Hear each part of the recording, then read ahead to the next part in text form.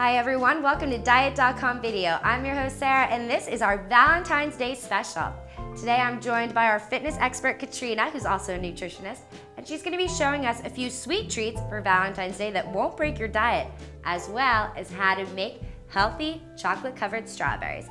So we have tons of food in front of us here. Uh, what are you going to show me first? It all looks delicious. Let's do the chocolate covered strawberries first. Uh, the reason why they're so great is it's fresh fruit, and dark chocolate that you're gonna melt into a pan. So first you wanna do is take dark chocolate, cooking chocolate, pour it into a pan. You wanna put it on a stove on low heat and you wanna cook it so it's about halfway done. Take it off the stove, stir it until all of them are melted together. And it's a smooth consistency, it's really shiny.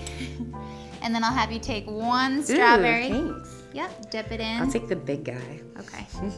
okay, you want to roll it in chocolate. Okay. This is also fun to do with a partner. It runs you about 20 minutes. Put it on the plate. I don't want to ruin your display. I also have white chocolate here. You can put it in a pan also and uh, drizzle it on top.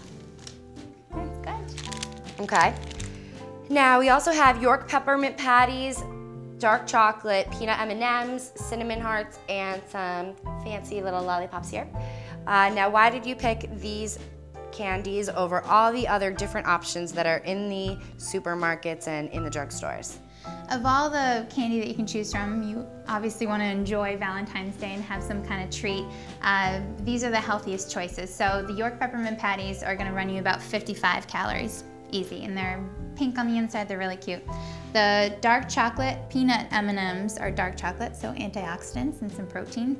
And the cinnamon hearts, for about 60 of them, will be 30 calories, or you could have 15 of them. And then also the lollipops will only be about 45 calories per lollipop. So mm. that way you're not eating a ton of calories, but you can Delicious. have a lot of variety in your candy. And lastly, we have champagne. Most dietitians or nutritionists say to totally cut out alcohol out of your diet if you do want to lose weight. Where does champagne stand on that ladder where like from best to worst alcohols for you? It's probably the best for you and it's a lot of fun to drink. Uh, it's 90 to 100 calories per glass so you can have a couple glasses and it will fill you up because it's really bubbly. And so it's your best choice of all the alcohols. Wow, well thank you for showing us today. I definitely love everything that you picked without even asking you to bring it. So I'm kind of excited to go uh, have myself some treats.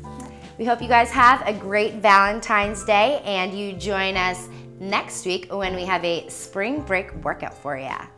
See you then.